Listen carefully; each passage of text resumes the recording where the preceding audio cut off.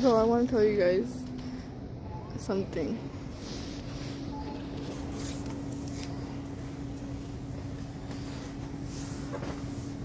We're surrounded in the enemy's camp.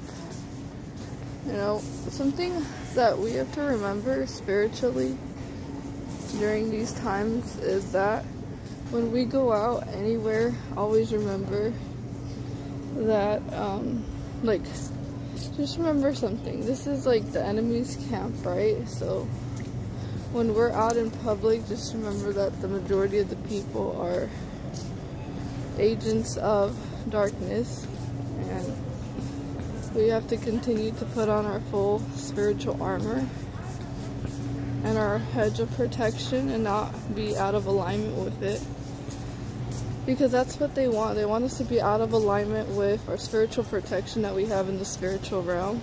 And since they've already sold out, we have a lot of sellouts in the system. They um, they tried to get at the light because we're the battery.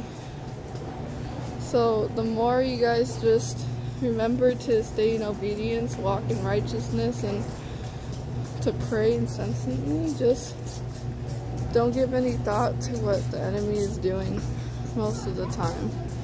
Because all this is just an illusion. It's presented as an illusion. Not everything is what it seems. And we already know at the end of this spiritual battle that we win this battle because they've already decided to go against us.